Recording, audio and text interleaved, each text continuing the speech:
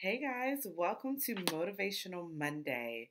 So, today I want to talk about something that's becoming a pet peeve of mine, and it's the concept of I don't have time. So many times I hear this, and a lot of times it's really an excuse, really and truly. So many people will say, Oh, I want to do this. Oh, I want to accomplish that. Oh, I want to do this but I don't have time. And I am making a PSA to call BS. Okay? Because you do have time. And so at the beginning of this Motivational Monday, I want to start off with an activity that opened my eyes to how much time we really do have. And I used to use that as an excuse that I don't have time because I work anywhere between 50 to 70 hours a week and I have an hour commute back and forth to work. So I don't have time to do anything. Um, where is the time supposed to be when you work five, six days a week, 10 plus hour shifts? And then once you factor in the commute, that's 12 hours of the day right there, and you have to sleep. So I am saying this out of love and we are going to do an exercise that will hopefully transform how you feel about how much time you have. Okay, so we're going to do a little old school math. And I have my calculator pulled up because I know this is not always a judgment free zone, and sometimes people like to judge. So I'm going to pull up my calculator and we're going to do this math together, okay? So there's 24 hours in a day, and there's seven days a week, right? Right. So let's see. That's 168 hours a week. And I even did it from worst case scenario. So I work worst case scenario 70 hours a week, right? That's 98 hours left. So if I'm working six days a week that week, that's a 12 hour commute for the week. I really am using a calculator, y'all. Don't judge. So we're down to 86 hours a week. Okay? I like sleep. So let's say I do eight hours a night. Right? So that's 56 hours a week of sleep. That leaves me with 30 hours a week. So I really had to take a look, a real hard look at life and say, what am I? Don't judge, guys. I'm being real with you. But I had to be honest and say, what am I doing with 30 hours a week that I feel like I don't have time? So, I want you guys to do that for yourself because not everyone's working 70 hours a week. Not everyone has an hour commute to work. Not everyone works six out six five to six days a week either. And that is no longer my story. But even at 50 hours a week with 10 hours of a commute, that's still a pretty hefty amount of time that I'm spending either going to work, getting ready for work, being at work. So my 10 hour workday is still a 12 hour day when you factor in the commute.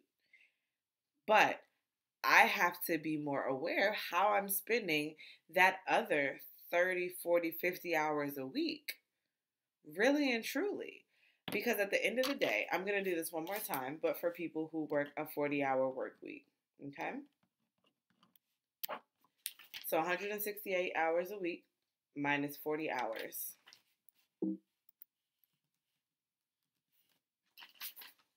Okay.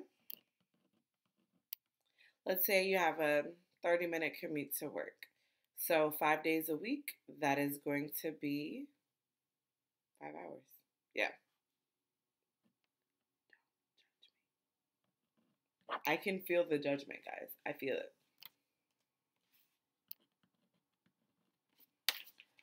So 123 hours left, right?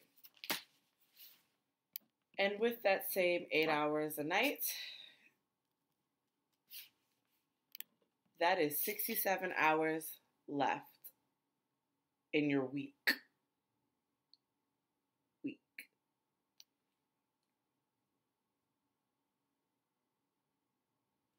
Y'all see that 67?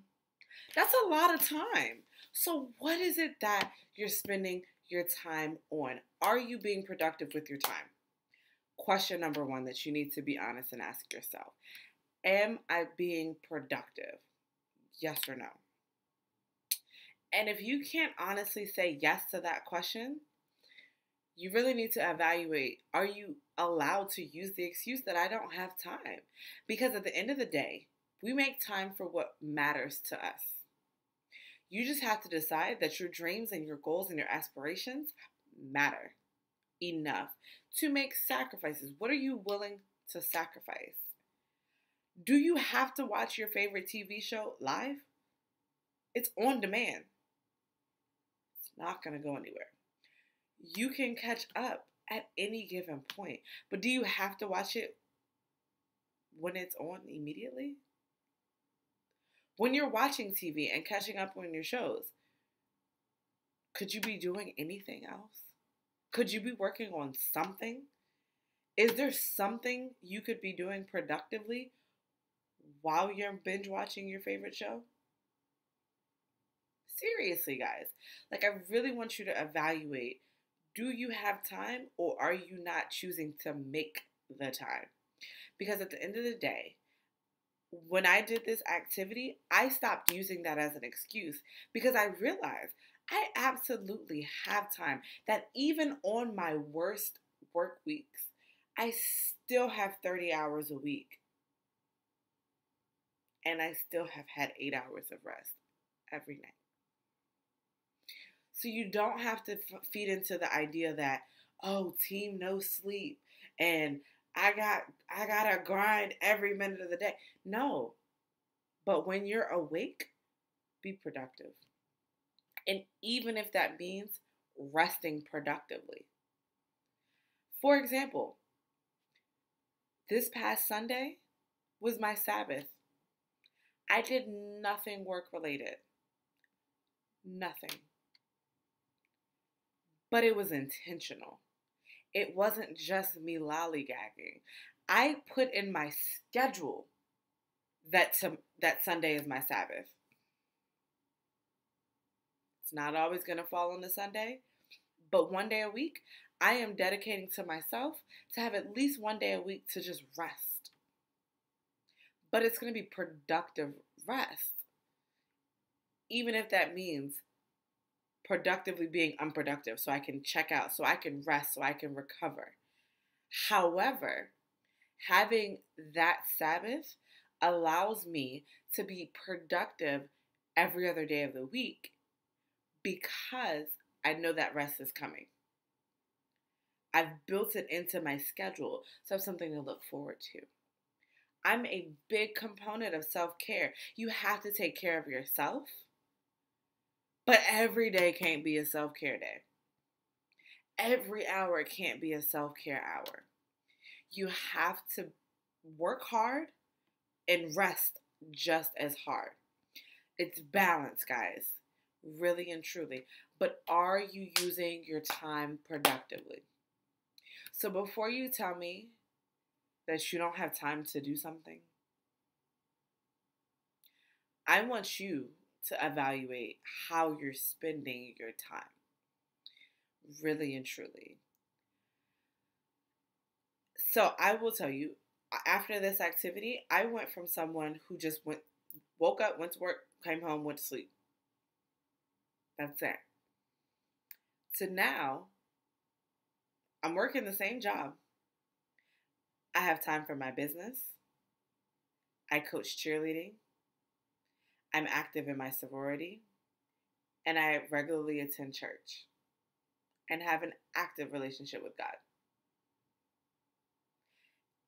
And I still make time for myself, and I still make time for my family, and I still make time for my friends.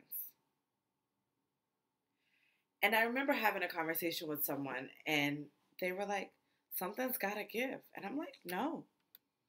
Everything that's on my plate is a non negotiable. So I have to make time, even if that means I need to sacrifice sleep.